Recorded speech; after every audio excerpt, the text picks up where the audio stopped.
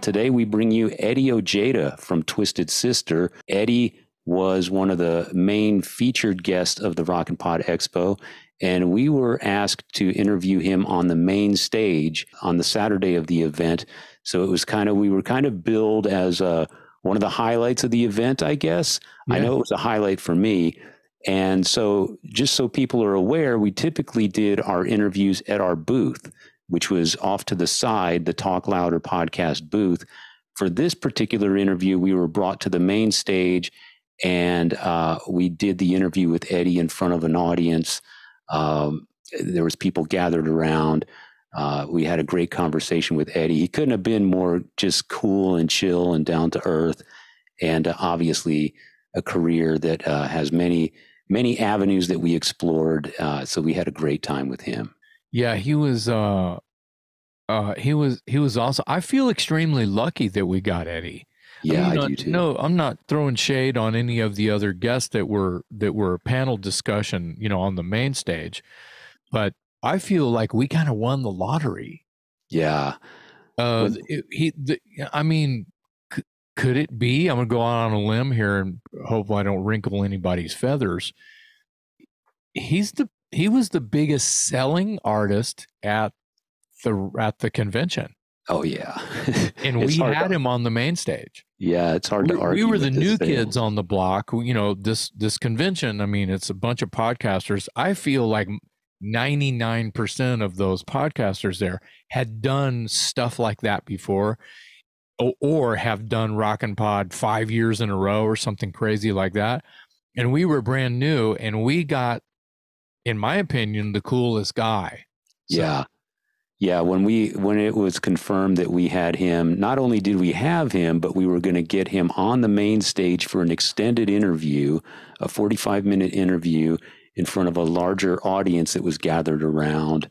Uh, to me, that was a home run. So yeah, and uh, you know, and as you said, probably the biggest selling star. I don't think there's any doubt. I mean, just the sales of Stay Hungry alone and uh, we talked to him a little bit about that. He was very forthcoming. I got to give him credit. Yeah, uh, I, I, I kind of shit myself in a couple of the questions that you asked him. You asked him like, "Well, how many copies did that sell?" I'm like, "Dave, what are you? You know, that's I don't know." Yeah. Like, hey, how many cars do you have? You know, like, Dave, stop. You know. Stop. Well, I told him I, I told him straight up. I was like, "Look, man, I'm I'm not looking for a dollar figure, but I want our audience to right. have a sense of what those kinds of sales can afford a guy like you, not just the band, you as an individual. Uh, does the sales of Stay Hungry pay your mortgage? Can you retire? Is it just extra vacation money? That sort of thing. And he was very, you know, no, just very you, forthright. You were, you're in the you're in the right. It's just uh, I just am a chicken shit maybe to dig into someone's wallet. go, damn, there's a lot of fucking money in here. You know that that that's kind of what it felt like.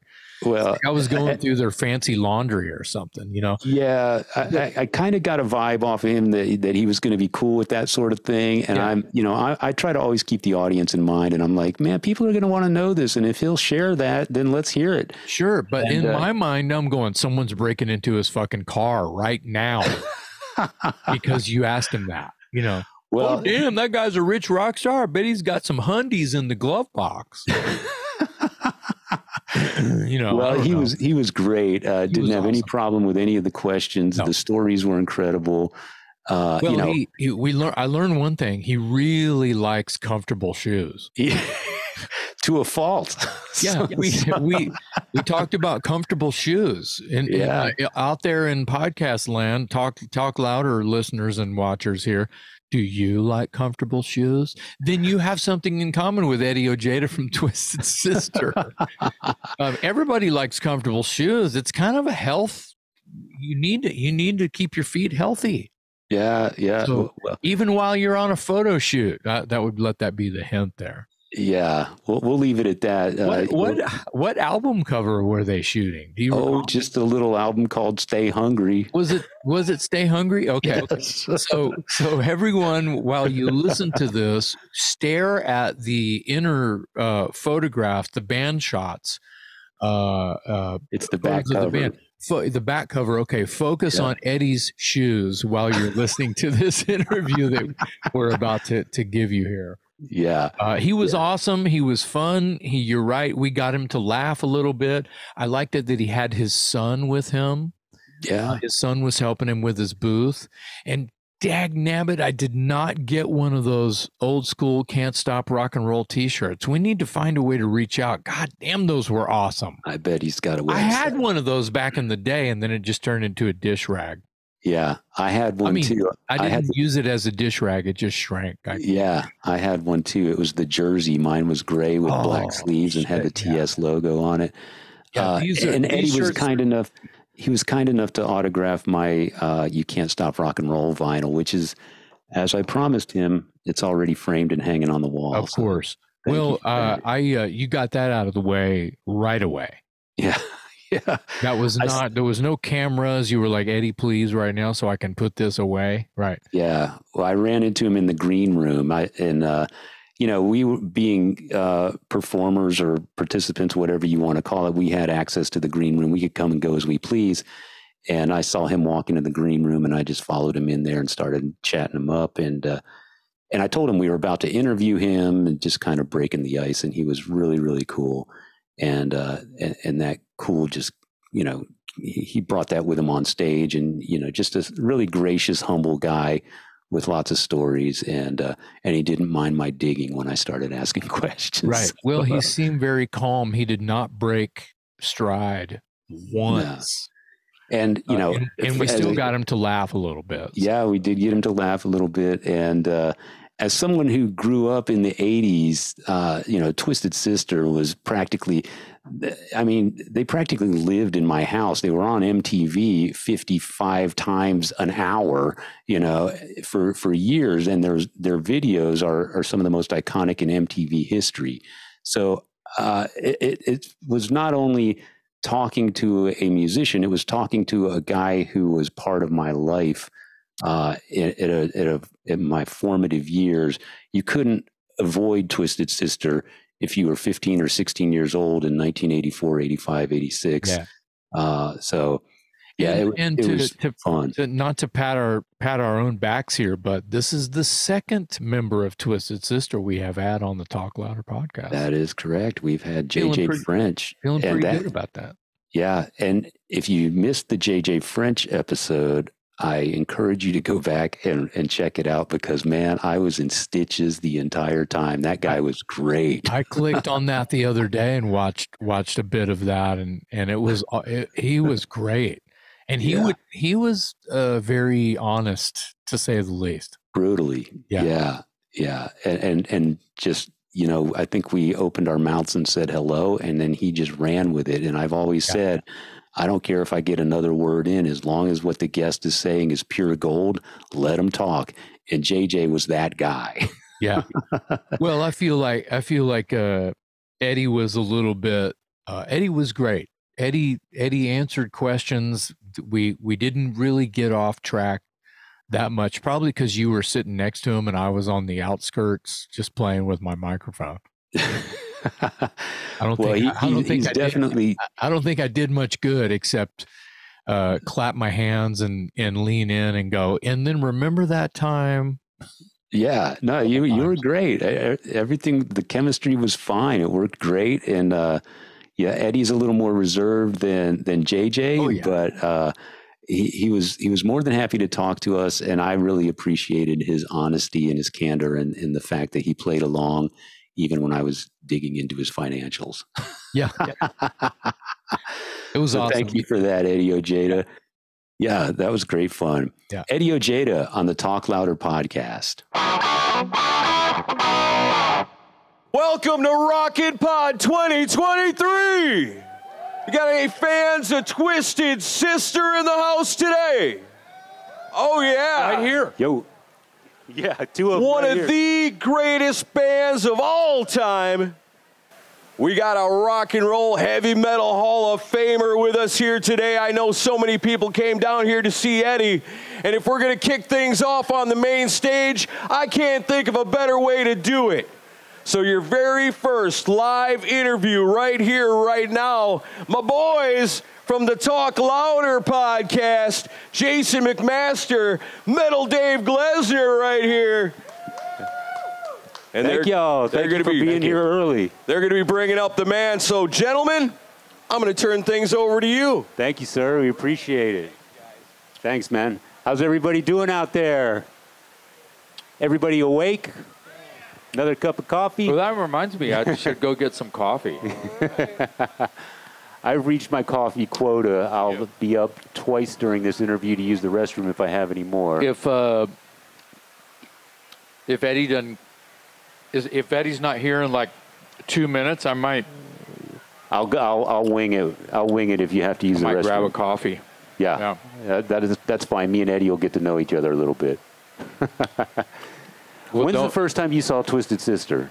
Ooh, I love this. You're you're we're interviewing each other now. Yeah, well, I saw Twisted Sister for the first time in 19 I'm going to say 84. It could have been 83. It was on Can't Stop Rock and Roll Tour. Ah. It was at Cardi's in Austin, Texas. There was this club. There was one in Houston and one in Austin called Cardi's. Yeah. I tell this story all the time. Um, I wasn't old. They changed the drinking age. I wasn't old enough to get in, and so my mom took me, my brother, and my friend Brian Bowen. Oh yeah. And she's like, "These are my sons. They're too young." So, and they they let us in, and my mom sat in the back and read a book. during a Twisted Sister gig. Yeah, and I took uh, I took her camera and I was in the front row. There's only like ten or fifteen people in the club. And the opening band was an all male strip revue. Oh. So the whole club was full of women screaming at an all male strip, you know, like Chippendales. Don't ask yeah. me how I know what anything about Chippendales. used to be one, didn't you? I quit years ago. Yeah, that's what I yeah. thought. Yeah, that is on your. Resume. You get resume. married, you get this tire. You know, it's on your resume. Can't do it. Well, right. we had JJ French on the Talk Louder podcast, and he told us that story, and it was hilarious. That yeah. They the and How then he, the crowd left. Yeah, he was peeking at, peeking in the back door of the club, and he's like, "Oh my god, all right, the club is like full of women, and they're going fucking crazy for yeah. the opener." And and even though it's like disco or whatever, because yeah, it was like he was stoked. Yeah, somebody was pre-recorded tape, and they were just yeah. like doing their oons, oons, you know. Yeah, yeah, he was pretty fired up. The moves thought... that I, I don't know the moves anymore, but anyway. so the club is all these women, you know, cougars, I guess, leave the club. Twisted Sister comes on and plays for like 15 dudes. and it was it was one of the greatest moments in my life. It was so fucking cool. Oh, I got intro music. Here he comes. There he is. Love it. All right. There he is. Eddie Ojeda, everybody. Ladies and gentlemen, Eddie Ojeda. We love this guy. Yeah. Sit over here, Eddie. We want you over here. If you don't mind. Thanks, Sorry. man. How are you, man? Doing great. Man, I was doing about great. to start singing that shit and turned it down. Saved by the bell every time. Yeah, it is kind of hot. Thanks for joining us today, man. My pleasure. Pleasure to be here with you. Likewise. Uh, have you done one of these before? Rock and Pod events? No, this is the first Rock and Pod I did. Okay, that makes three of us then. Yeah. Yeah. Oh, yeah. So well, thanks for being here. Uh, we got a lot of questions for you. We're going to try to make it more conversational instead of an interrogation. Okay. We, are not the cops. We don't want you to be uncomfortable. All right, no problem. uh, why don't you start by telling us just how you got hooked on rock and roll? What's the uh, the album, oh, the boy. moment, the concert? What was it that uh, made you say, "I want to do that"? You know, a lot of people say the Beatles. Obviously, I mean, from Lemmy to I don't know who, but uh, you know, I saw, I was a little kid, I saw the Beatles on Ed Sullivan. And, uh, I mean, it kind of blew everybody's minds. It was like 70 million people saw that show. Yeah. I mean, some people don't even know what, who Ed Sullivan is. but uh, that was back when people used to, like the whole family would watch the same show. Sure, sit around On Sundays, you know, it would be Ed Sullivan, then Bonanza. Yeah. So, and uh, you know you all watch. So when I saw them on there, I I told my parents, I think that's what I want to do, and they laughed uh, you know, for a long time. Were they laughing after the success of Stay Hungry? no, that's when uh, that that's what it took. Yeah. Because even when I was, you know, playing gigs all the time, they kept saying, "When are you going to get a real job?" Yeah. Yeah. And I said, "Well, this is a real job. I'm making a living." You know, I, was, I mean, we were playing clubs four or five nights a week. And back then, you had to do three sets, three, four sets a night. Sure. And even if the place was empty, like people would leave late at night, it's like two o'clock in the morning to go up and do a set. But you know, the club owners would still make you go up there and play. Yeah. For like the three drunk dudes that were sleeping at the bar. so What was what was this is kind of a this might be too personal. What was the payday back in those days for a a, th- a triple threat matinee kind of thing? well, it, it once the club circuit got very big for us. We started playing the you know very quickly. Uh, you know, we just blew up, and we were playing the whole tri-state area, so the money went up quite a bit. You know, I mean, we were playing clubs and making ten grand a night. Back Wow. Yeah, Yeah. Wow. and that's then, you ten, know. 10 grand a night for a for a matinees, three in a row. No, no, no, Oh. no, no. The thing is, that was uh, for the whole night, you know. But, Oh, right, right, but then that's at that point we were just doing two sets a night. But you know, in the beginning, it started out like you know five hundred dollars. Yeah. Which is when you think about when that was. I don't want to say dates. I don't want to embarrass. You know, That was It a long- that was a little while ago. That was when five hundred dollars was like two thousand. A lot. That's what I was going to say. Thank you. yeah. Yeah. But uh, yeah, it was a while ago, and you know, it's it took a while, but we built it up very quickly. Where we were playing all these really big clubs, and the place would just be wall to wall, and um, a lot of times we would just play for the door because these big clubs would hold like two, three thousand people. Yeah. Or the Fountain Casino could hold like five thousand people. So even though they were clubs, they were huge. And, Yeah. you know, and there was a couple of bands in the, on that whole circuit that were at that level making that kind of money. But it was worth it for the club owners because you know, they made a ton of money at the sure, bar. Sure, sure. You guys, um, your first album uh, was produced by Pete Way of UFO fame. Yeah, And uh, I wanted to know what was it like working with Pete? Because he's got a reputation. He was a wild man, wasn't he?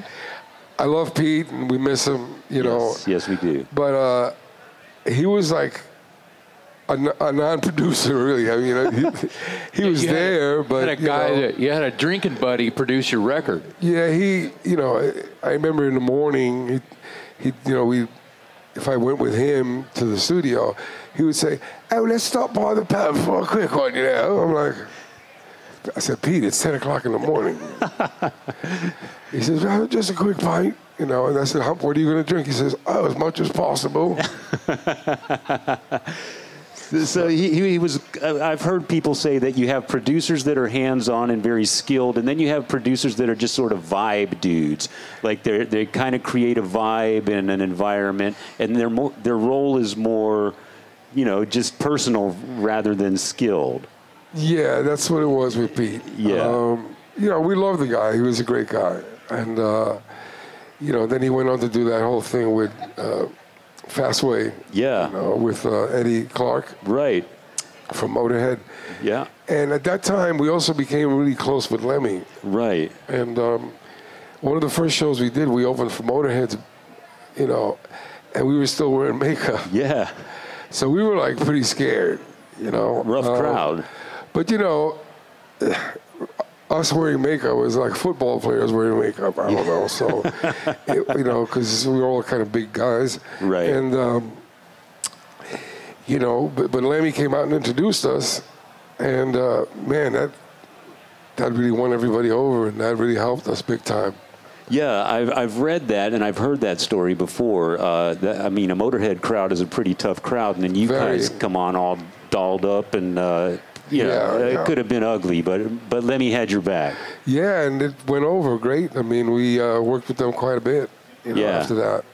So he kind of introduced us to England, and uh, you know, we had there's a there was a real strong buzz in England about us. There was bootleg tapes of us, our shows, and that's we got signed. For the first time we got signed was to an English label Yeah. called Yeah. called Secret, Secret Records. Records, yeah. it, it was a really a secret too. oh shit.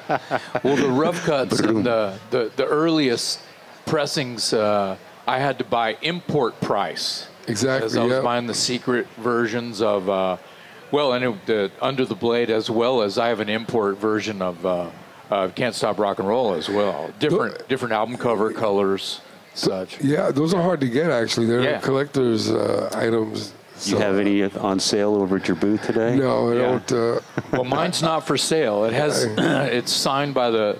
It's got AJ on. It's got everybody. Oh, wow. I was just telling the story that I've told you a hundred times every time we meet. Uh, I, I hadn't told you today until right now. I was telling these guys. I saw Twisted Sister on that tour in uh, Austin, Texas, at a club called Cardi's, where there was an all-male revue as the opener. oh opener. yeah, Yeah. Oh, see, he knows. He, Yeah. How could he forget? yeah, unforgettable night. You guys played for like me and like ten of my friends, and it was fucking. You guys played. Everybody here has seen Twisted Sister play, right? Doesn't matter if there's five people in the audience or five million people. It's the same show, full on power. It's like a tank uh, mowing you over, and that's what it was like. Yeah, well, our attitude was, you know, let's kick ass anyway. You know, um, even if there's five people here, Yeah. because it was like, you know, just a good way to just rehearse, practice your show. You know? Sure. So it's like a paid rehearsal. And like I said, club owners didn't care if the place Right. was empty; they still wanted you to play. Well, here's another thing too, uh, and I know that you guys learned early on because you were you were quite seasoned at the time already, anyway. But I learned a lot as a young musician, uh, and it was like what? It's like after they played, they went backstage, and you know, I was telling my mom was there. They had just changed the fucking drinking age, so me and my friends were like, "Yeah, she's our mom," and it's like what? You know, my friends were saying, "Yeah, Jason's mom is our mom," and you know, so we got in. My mom sat in the back and read a book. Bless her heart. And and uh, after the show, it's like, "Wow, man, that was incredible." And I had my records with me. I had a stack of Twisted Sister records with me, and uh, I was like, "Well, maybe they're not going to come out, but I'm glad I brought these anyway, just in case." And sure, as soon as I formed that sentence, you guys had gone back and wiped off the makeup and came out looking like you were you were going to just murder everybody in the room, you know, leather jackets and shit. And they, you guys hung out. Dee Snider gave me a joint. He did. Dee gave me a joint because he oh, said Wow. someone gave it to him, and he goes, "I don't smoke this shit. No, you want you- this?" yeah. He gave it to me. I put it in a in a plastic bag, and I, I, I like wrote on it, gave it an authenticity certificate. Given to me by Dee Snider on this date, blah blah blah blah blah. I had roommates. I come home from work one day and the joint was gone. Oh, too bad. But that's okay. That's all right. It was probably oregano anyway. But the point is, is you guys came out and signed all of our shit, and that was the, like, you know, only. I mean, I'd seen other bands by that time. I had seen Metallica and Raven and underground bands coming, Right. And they came out and hung out with everybody. And when you guys did that, because you guys were just about to break yep, yep, with that MTV, you know, Can't Stop Rock and Roll and such. exactly. Uh, and I just, as a fan, I just, this is how you do it. This you, Yeah. you you make friends with your fans. This is real. It's family. It's a rock and roll is a family. So that's that's what we did. I Thank mean, you. It was you know. thank you for that. You're welcome. And it was like uh, people think it's overnight when all of a sudden everybody hears about the band when you break. Yeah. But it was like ten years to get to that point. Yeah, You know, yeah. and like a, th- couple of thousand shows. It's fairly well documented that you guys were. Yeah. Uh, I think JJ said it best. It was like we were a band from the '70s that made it in the '80s. Exactly. That's what happened. Yeah. Kind of an amazing, you know, if it happens too fast, uh, that can be bad. I think so. Yeah. Uh, I mean, the good thing about having so many shows under your belt is that you know you're so comfortable on stage. You can stay. You know, there's times where you're thinking about like, oh, I gotta wash my my clothes, man. It's like, you know, you're that comfortable. You're in the middle of a solo and say, did I wash my clothes? oh, I gotta think about it. And you, you know. Tell- not that you're bored, but it, you know, you just No, I get you it. know, Mind from wandering. playing You got a so much. checklist. Yeah. you know, Yeah. and uh, you know, then it just becomes like second nature. You know. Yeah. Tell us a little bit about the success of uh, Stay Hungry. Obviously, a blockbuster album. Um, and I don't want to get too personal, and I don't need a dollar amount, but but JJ JJ French has said that that music uh, we're not going to take it, and I want to rock are, are the most licensed songs in rock and roll. Yep. So, what does that mean to you as an individual? What does that afford you? Do, can you live off it? Does it pay for your car? Is it just extra like vacation money? All Give of me the all of the above. ah, okay, wow. So, how many how many millions of copies did that sell? Um, I think it was up to it's up to. In total, I think we got 20 million. Twenty million. 20 million. So yeah, I guess you could live off of that. Let's think about that for a Yeah, second. which is unheard of now. Yeah, you know, right. Because everything is digital and whatever. So Uh-huh. the so the videos, of course, were became part of pop culture, and Yeah. and you guys up to that point were kind of known as this gritty bar band, and then all of a sudden you're all over MTV, and the and the videos are kind of slapstick comedy. So it seems like the, the videos would have been like a blessing and a curse. Were were there some downsides to the videos? No, those the, videos were very successful because, like you said, they were funny. Yeah. I mean, the whole idea was like a Bugs Bunny cartoon. Yeah. You know what I mean? like uh, the guy getting thrown through a basket, and you know that's that that sound that stuntman actually got hurt pretty bad. Yeah, yeah, Because that was real. I mean, he got shot into the. In, or I want to rock. He got shot into the basket with a like a catapult. Or some kind Producer of- have insurance? Wow. The guy who did the guy who directed that was Marty Callner, Oh yeah. and he did a lot of HBO things with Chris Rock and a lot of comedians. And Yeah. He was a big time HBO guy, and uh, it's funny because after he did our video, he was getting calls from every band like Aerosmith, uh, The Heart. All these bands wanted him to do uh, their videos. Right. Your video became his calling card. You That's know, amazing. Yeah. yeah. yeah. again with uh, Stay Hungry. That that album, uh, Mark Weiss is here, the photographer who shot the cover of that Yeah, album. he's in the back over there. Yeah, and an iconic image. But in some ways, it also kind of did it cause a little friction in the band that Dee was featured on the cover and the rest of you guys were on the back. Yeah, sort of. We're, like, hey, what happened? You know? but uh, there was a reason for that, and because when we were doing that photo shoot, I'm not going to say who it was, but two of the guys weren't taking it very seriously, so a lot of the band shots came out shitty. Yeah, So that's why Dee ended up on the cover with the bone right. you know. Um, and then we were on the back. And there's a funny story about that because I didn't know they were going to shoot a full length thing. So I was wearing really comfortable shoes, but they did not look rock and roll. Flip flops. So uh, Atlantic, you know, Jason Flom from Atlantic Records was so pissed off about my shoes. I said, "Really? It's, it didn't hurt the album sales. Maybe it, you know, maybe those shoes had something to do with it. You know." so if, in the back of the Stay Hungry album, if you look at the shoes, they're like these blue leather shoes that I regret wearing, but it's you know, it's there forever. Well, it's an iconic image, and the album, of course, puts you guys over the top, and the, and the videos that went with it. Uh, you also became known. Your bullseye guitar is iconic. So, Yeah. what did you think the first time you saw Zakk Wylde with a bullseye guitar? Well, I wasn't too happy about it. You know, I was like, why would he do that? You know, because he got a boatload of shit for it. Yeah, And he's still the, you know, when we, I guess he thought, you know, we we had split up, and then you know, he also stole the jacket thing too with the colors. the Oh, yeah, that, that yeah. was because he used to come see us all the time. He was, you know, and uh, you know, he kind of. I heard his, his excuse was, well, mine's a Les Paul and it's black and white. I said, eh, not really. It's, you know, but the whole bullseye guitar thing, I never thought it was going to become such a deal. I mean, I seen people with tattoos of it.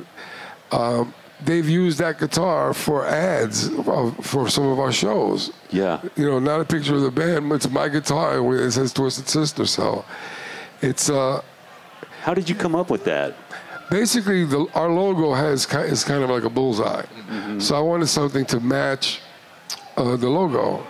So I told that was Charvel Guitars at the time. Yeah. I told them I want something, you know, pink and black circles, and then they just did a bullseye, and I said, oh, okay, that's cool, it matches. And our amplifiers had we had pink circles on the speakers, on the Sound City speakers, so it kind of went with the stage thing. Yeah. But you know, that was one of the f- when they first started making those graphic hot rod guitars. Yeah. Yeah. And um, that was the first bullseye ever made. Um, and because it got so well known, anybody that did the bullseye got a boatload of shit, and they had to change it. Yeah. You know, uh, not that I got, I didn't have to say anything. Right. You know, Have you and Zakk talked about this at any point? not really. Uh, there was one time when we were both in the same hotel, and you know, we, we kind of walked by each other, and uh, I mean, I could talk to him about it, but I think once we got back together again, he sta- he started changing a lot of the his guitars. I don't know if you know, he's Yeah, uh, the buzz gra- guitar, and His graphics are Yeah. yeah, he, he hardly uses the bullseye anymore. Right. Right. And uh, but you know, he got. I mean, there's a good story with Vivian Campbell. Um, we opened up for Dio. We did a show. We did a tour with Dio, and Vivian Campbell was a guitar player at the time. So you know, we're backstage, and I see one of his guitars is duct taped with black duct tape. I said, "Why is there that guitar all duct taped?" He goes. I gotta tell you, when I saw your guitar, I thought it was so cool. I had the same one made. but he said he got so much shit for it that he. And then when we were on tour, he didn't want me. To, so he duct taped the guitar. So Well, how did it look with the duct tape on it? It sounds kind of cool. Well, Yeah. it- I thought, yeah, I thought it was kind of a cool thing. But Yeah. uh, I, you know, he used the guitar. It sounded fine, you know, but it was just duct tape. Well, his trend with duct tape wasn't as big a trend as you with the duct. no, the I didn't go over. It didn't become a thing. Yeah, The yeah. bullseye, yeah, very iconic.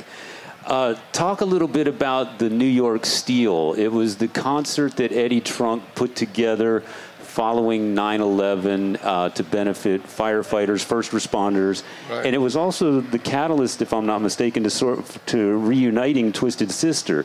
and yep. since that time, you've been reactivated and and done shows since then. Tell us about how that conversation went among the band members. Okay, well, originally, you know, it was terrible when the, the whole World Trade Center thing happened.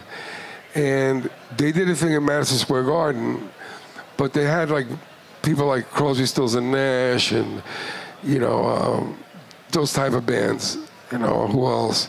It was mostly like a lot of the soul acts and stuff like that. And we, we had offered, we said, well, you know, we'd like to play too, you know, save, raise money. And they said we were too inflammatory. I said, you mean like a hemorrhoid? I was going to say that sounds like they're trying to give you this backhanded compliment. like- Yeah, yeah, you guys like- are too. You guys are too hardcore. Like, You're, you're what? too inflammatory for Yeah, the show. I'm like, okay. So that's when Eddie Trunk said, why don't we just do our own thing? You Yeah. know? And then Ace came on board, you know, on Anthrax. And that was another thing. Anthrax, people wanted them to change their name. Yeah. And they wore suits and said, we're not changing our name at that show. Yeah. That was like a classic, you know, I, f- I forget the name of the the, the, the theater. It's a, I held like four, four or 5,000 people. Yeah, So, you know, we raised a lot of money for the firemen and the police department. yeah, definitely. And uh, yeah, I think we raised like 150,000, something like that. that was amazing. And Uh, uh, yeah, it was great that um, everybody jumped in on that. so, how did the phone calls go bounce around band members? Because presumably at that point, you guys hadn't. I'm not saying you weren't speaking, but you weren't a active band, so you were kind of reaching out, and this was the occasion to do so. Exactly. Uh, how were those conversations, and how did they get started? Well, we all felt like, hey, we got to do something. This is really Yeah. horrible. And you know, we know we knew people that were they lost their lives there. I mean, it really affected everybody personally. Yeah. So we said we had to do something, and then Eddie Trunk came up with the whole idea. Also, Mike Piazza from the Mets. Yeah. You know, and uh, that's how it came about. It was just we got to do this, and that's that was it. Everybody was on board with it, and uh, Yeah. and we didn't know if it was gonna make the group reunite again. But after that, we got so many offers to start playing again, where we kept turning it down. But then it got to the point where this is stupid if we turn this down. I mean, you know, because you know you get offers, you go, ah, okay, well maybe no, but then. You know, when they hit the right spot, you know. Yeah, right. it's like, well, if we don't do this, we're being stupid. Yeah. You know. And, So the uh, lesson here is never break up the band. Really, never really break up the band. Right. You can you can just go home for a while. Oh, we're Yeah. just at home. I'm got my feet kicked up. You know. But when the zeros add up, you're like, oh, Yeah. we, we're stupid if we don't. Yeah, because it was, uh, it was just one of those things that why not, you know? But it, uh, and none of us ever went out. You know, like some bands have all new guys, and there's like three versions of the same band. Right. None of us ever did that. So the name and the original original members meant something. So it was a big deal for the original band to get back together. And uh, I mean, we were more popular then than than ever. Yeah, that's Yeah. right. We were Yeah. headlining festivals all over Europe. And AJ, you had AJ, yeah. and uh, thank God that Twisted Sister kind of reformed there uh, for something to do something good for your community, for America. Yeah. Yeah. And then, and then all of these great things start happening, and then um, uh, tragedy with AJ, yeah. The- your brother, you know, 2015. your family. yeah, it was, you know, and he was the youngest guy in the band. Wow. So Terrible.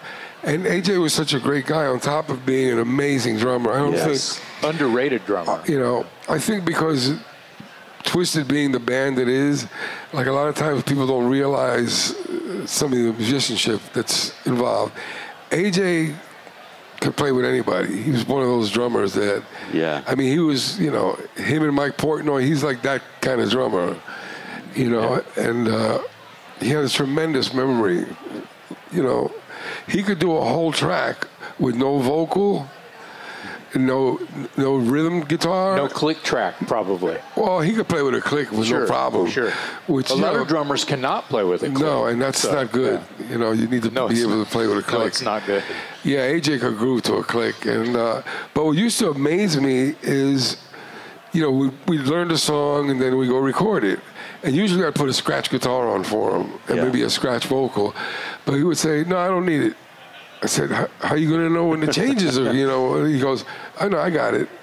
And I swear he could play the whole thing, keep perfect time for that click. You, anytime you turn the click on, it was like right there. He was, you know, and I never seen a drummer that could play an entire song without any kind of reference. Well, here's the here's the thing when It's you crazy. when you write a song and then record a song, this is most of the time prior to you ever playing the song live. M- Sometimes, not maybe not all the time. Maybe you have something in the set list that's new and you're trying it on, and that's always like uh, an advantage before you go in the studio because you know what tempo feels the best. We should record this faster because we're feeling it faster on stage. So Yeah. let's make it cohesive, right? But for Eddie recording a song without, you know, without basically without, I'm sorry, AJ, AJ, yeah. recording a tune without you scratch even your scratch tracks and knowing where the dynamic is, when to open the hi hats.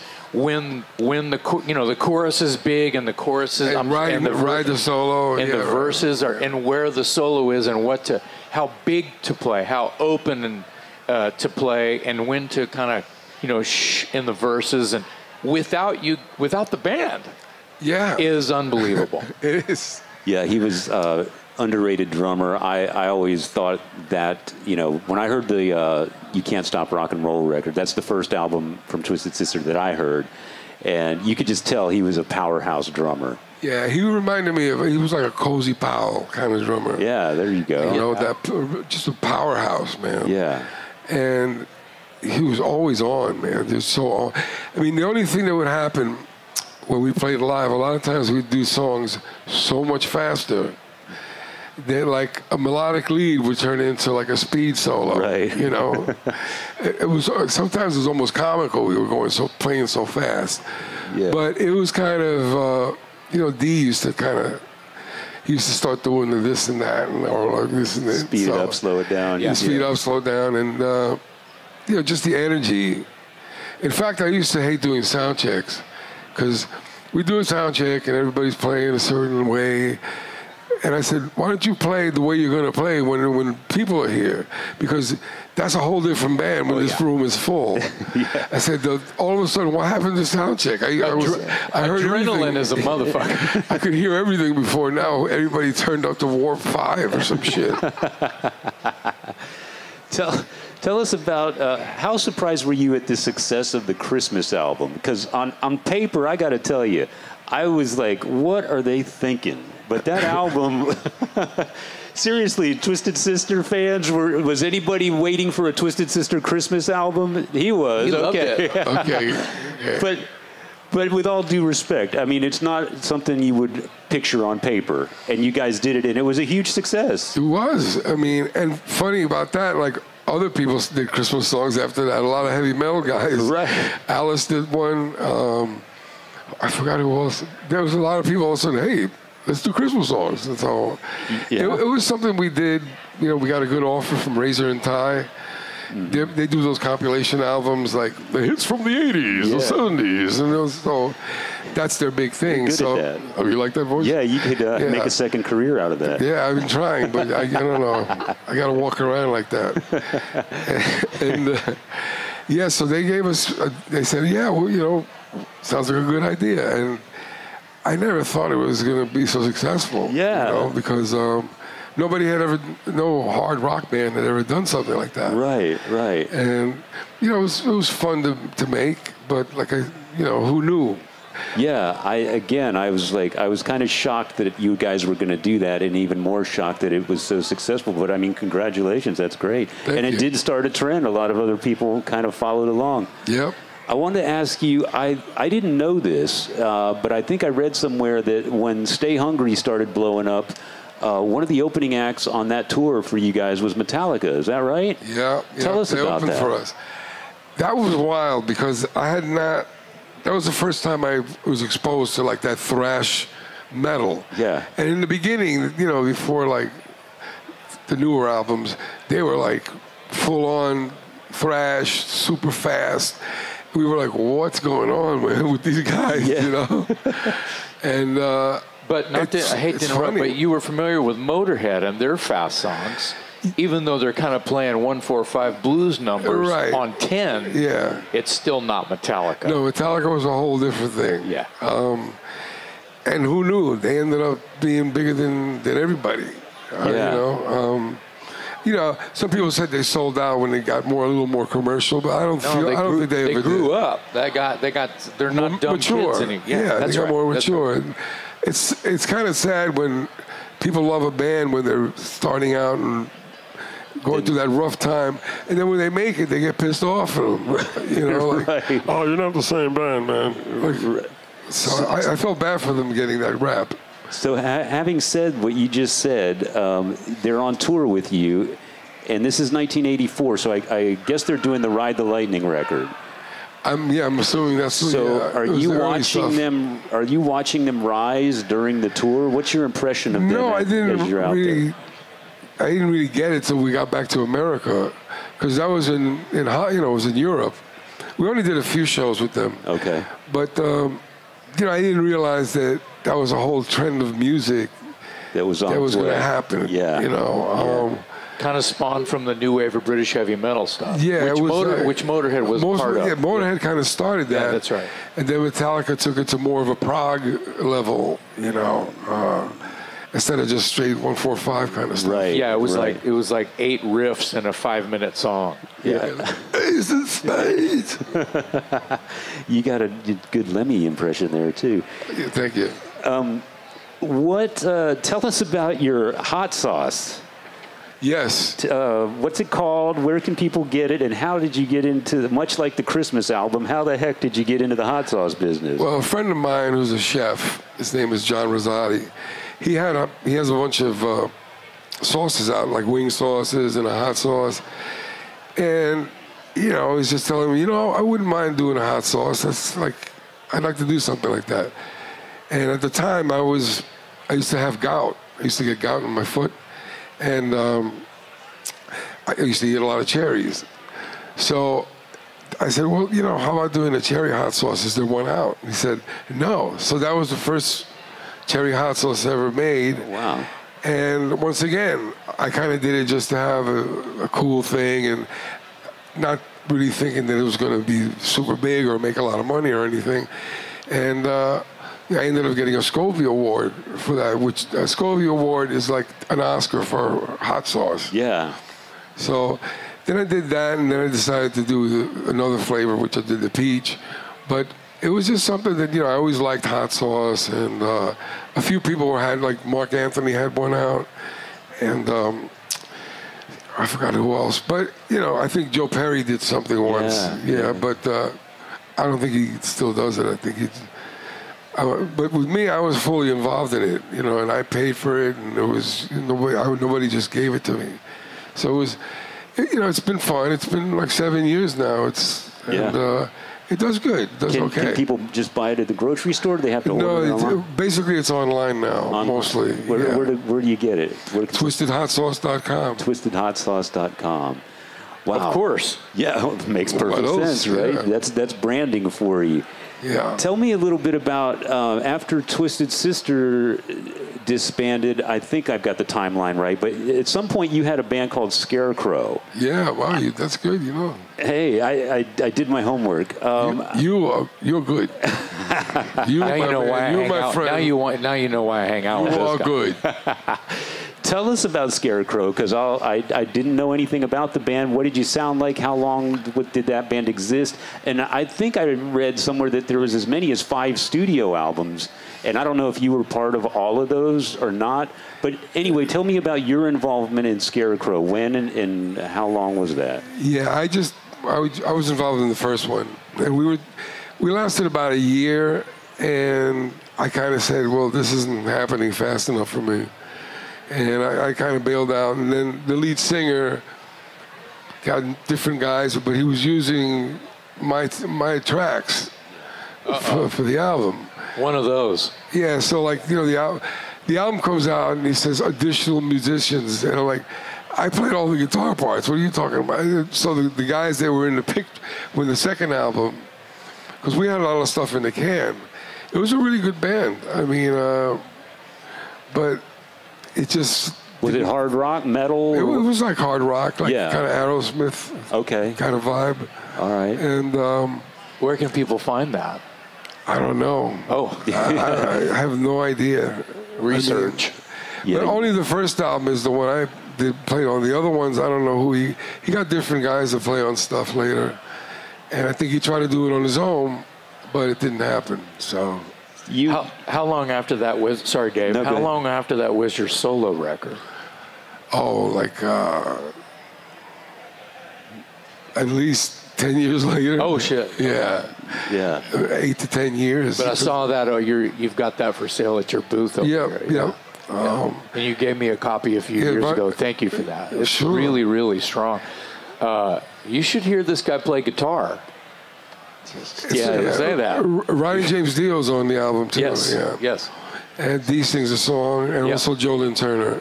Yeah, oh, you wow. got all the greats on there. Good line. Yeah, so uh, just to get Ronnie, in fact, we were playing in Puerto Rico together. Dio, Dio was opening for us.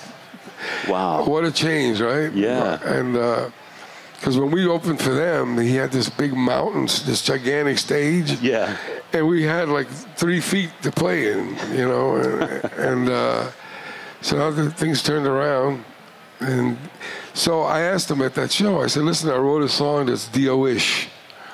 Uh, would you would you mind singing for me, doing singing on it?" He goes, "Sure, just send it to me." Wow. Yeah. And you know, I was said, "Well, don't you want, don't you want to hear it first before you commit?" And uh, because I said, what if, what if, you, what if you hate the song, you know? Right. But uh, I was pretty sure he was going to like it because it was definitely his, the vibe was his kind of groove. Right. And uh, it was great to have him. I mean, I didn't know we were going to lose him, but the fact that uh, to get somebody like him to to sing one of your songs sure. it's an amazing thing to this day. Absolutely. I'm so grateful for him. Absolutely. Yeah, I mean, with all you've accomplished, uh, the success of Twisted Sister, and uh, you know, you've done your hot sauce, you've done a Christmas album, you've uh, had the solo record. Uh, what's left on your bucket list? What has Eddie Ojeda not yet accomplished musically? I'm doing a movie with The Rock. ah, doing a movie with The Rock. Yeah. Do you have a script in mind? No, my son does. Oh, okay. I was Well, gonna- I was going to ask if that was your son yet. Yeah, he yeah, is. cool. Yeah. What kind of movie? T- tell us your idea for this movie. Obviously, it's some sort of adventure, I guess. With uh, I think it would turn into an adventure. It's kind of like a. It's, it's about a guy that um, is deformed, and he gets a lot of static. People pick on him a lot. yeah, It's kind of like Man. a sad thing that turns into like a, a good thing Wow. because it's it's a guy that doesn't look good, and people make fun of his looks, and uh, but he's an amazing person. yeah. and he ends up, you know, he's still working on it, but he ends up at the end, you know, being this awesome guy that everybody loves, and people stop making fun of him. Wow. And uh, I'm not sure where he's going to go with it, but it's it's kind of a sad story, you know, in the beginning, Yeah. the way he's treated, you know, kind of like the Elephant Man kind of vibe. Exactly. Yeah. Hunchback of Notre Dame, something like Right, that. that kind of well, if you want me to call Chris Rock for you, um, or The Rock, I'll, The Rock, I'll give, yeah. yeah, Not I'll, Chris Rock, I'll yeah. give him a call. Well, yeah. As soon I call him Dwayne because we're like that close. no, Um, tell everyone here what can we expect, if anything, uh, in regards to new Twisted Sister music or a full-blown tour. Well, I doubt that that's going to happen. I never say never because you never know. But uh, as far as Twisted doing something, again, I don't see it happening. Um, but you know, some of us are doing some stuff on the side. I'm I'm doing a lot of session stuff with people. Yeah. That's mostly what I do because I have a home studio and I could just lay a track down and send it out. You know, I, I use Pro Tools very basically. You Right. know, I don't. Uh, I know it well enough to do tracks for people. Do you uh, have your name out there as hire me to play a solo on your record kind of a thing? No, it's just kind of word of mouth. People that yeah, friends, and stuff? Friends, yeah, and people. Um, I'm working on something right now that uh, I'm just going to do the solo on. I also did the Leslie West tribute album, Oh, cool. Yeah. and we did theme from Imaginary Western. Yeah. and Dee sang the vocal, and, I, and I've I played the guitar. I think and, I've uh, heard that. Yeah, it's online. It's uh, one of those video, Yeah. those uh, lyric videos. Yeah. It's just, just put in Leslie West tribute, and it came out real good. I mean, I did the Leslie West, I did the solo note for note, because Wow. that's a solo you can't mess with. Yeah. Yeah. I mean, you know, Keep it true. I've seen people play it exact, you know, and you can't just jam out to that. It has to be, you know, so respect to Leslie. Sure. and uh, you know it's it's just a great solo. It's you know uh, it's one of his best solos or one of his more well-known solos. And Yeah. Jack Bruce wrote the song, you know. So, Wow. Yeah. Yeah. so it was uh, you know very cool, very cool. Who would you like to collaborate musically, collaborate with musically that you haven't had a chance to do yet? Um, I haven't really thought much about that. uh, Jason's right here. Yeah, I would love to collaborate with. Yeah, because I'm, uh, you know, I kind of have songs that I want to do, and I thought about doing a solo, another solo record, but um, I don't know. I don't really haven't thought about who I want to collaborate with, so it's something that Well, you I could, may pro- do. you could probably. start with you. I would love it. I would love it. But I was going to say, uh, push me uh, over the cliff. If there's, I love the question because, I mean, let's just put it on the table. You, you could have your own band right now if you wanted to. Yeah, yeah. Uh, whether uh, the measure of expectations, that's up to you as to what you want to do. I mean, Right. touring is not probably eh, it's kind of not attractive maybe Right, sometimes yeah, and, yeah. and that's normal uh, but you you could probably pick almost whoever you wanted to make uh, like a band where it's same singer on all 10 songs. Right, right. Uh, you could do that anytime you wanted to. Wouldn't everybody like to hear an Eddie record just as a band? There you Thank go. you. I think it would be fucking cool. I, I did do a few shows when I did the album.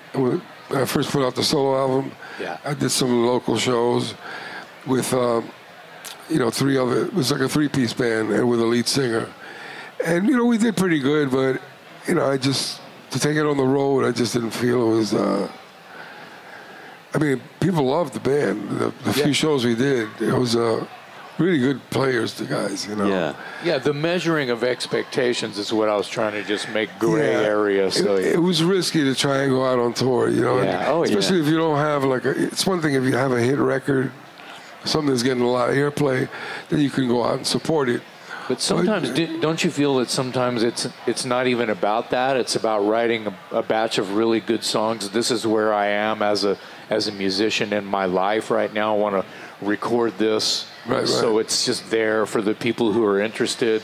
But it's really more about your intellectual and your heart, and you want to make a record for the right reasons, and Yeah. it's not about how big the check is going to be. Right, exactly. Yeah. Even when I did the solo album, I didn't expect to sell, you know, a million records or anything like that. No. Something I just did because I wanted to do a solo album. I love that. Yeah. Yeah. And I think that that is the right reason to make music anyway. Yeah, you got to do it for yourself, just to do it. Yeah. We've got a couple more minutes left. I wanted to ask you one last question. I hate to keep going back to Stay Hungry, but it's such an iconic album. Yeah, uh, yeah. Everyone here owns that album, I'm sure. Was there a moment on that tour when you walked out on stage and went, "Oh my God, we've turned the corner. It's it's gotten out of control. We've hit the big time." Um, Probably, yeah. Uh, we were on tour with Iron Maiden at the time. Okay. When that album came out. And that was amazing because every time we played, it was sold out. You Yeah. know, between us and Maiden. And people still talk about that show. And Maiden, you know, they didn't limit us with anything. And they loved it. We riled up the audience. Yeah. And it was one of those things that people came to see us too, because usually when there's an opening band, you, people, people start strolling in for the first band because they're waiting for the, the headliner. Right. But at 8 o'clock, the place was packed. Yeah. Everybody was there because they wanted, you know, the whole MTV thing was had blown up. And Maiden, some bands would limit you and try to like uh, not give you full lights or the sound or whatever. A lot of bands do won't that. let you use the subwoofers, whatever. Right. I mean, that, that happens with Van Halen a lot, you know, on the Journey tour. Yeah. But um, they were real cool about it. And some people, though, they would get pissed off that you got the audience so hyped up. Yeah. They they loved it. They said, "Man, we come out and they're like on fire. They're ready to, you know." They they asked us to, to do a bunch of tours with them, but but somehow it never happened again. Yeah. Yeah. That would be a memorable tour That for sure. that I didn't see that tour, but in just kind of in my mind, if you think about Twisted Sister opening for Iron Maiden at, at, in a peaking moment as Right. well, Right, yeah. Uh, it's kind of like you guys are. And you're saying you you know Twisted getting the crowd pumped up, and of course the headliner loves that. Why would you limit that band and oh let's not let them use the lights or the subwoofers, even though they're pumping up? Well. The, give it all to you so you can pump the crowd up even more and Right. make the night That even was- more memorable. It's smart. Uh, it's smart execution. It's the way to do a show. Yeah. And uh, I was going to say it's kind of like uh, Twisted opening for Iron Maiden is like a, you know, a hardcore biker band. Like it's like Motorhead opening for Yes. You know what I mean? It's, it's like that. Uh, and I think that that's great. Uh, I'd buy sorry, that I ticket. that. I'd- Yeah, me I'd, too. I'd buy that ticket. Yeah, that was that was a great time. I mean, uh, that was one of my favorite tours because, like I said, every night, twenty thousand people, you know, Yeah. sold out shows. And at the time, Maiden Maiden was never a band that sold a lot of records, but they could sell out arenas. Oh yeah. You know what I mean? Yeah. So they were one of those bands. So, uh, in fact, we were probably getting more airplay than they were Sure. at the time. Oh yeah. So, it, it worked out really great. Yeah. It worked out really great with them. Eddie, I can't thank you enough for joining us today. 16 year old me can't believe I'm sitting here next to you. Uh, talking to Eddie Ojeda from Twisted Sister, ladies and gentlemen. It. How about that? Let's Thank give you. a big hand. People love you, Eddie. Thank you. Thank Yeah. you very much. Thank you so Thank you, much for joining us Yeah. today. Eddie Ojeda, ladies and gentlemen. Come on, yo, give it up for Eddie. Come on. Yeah.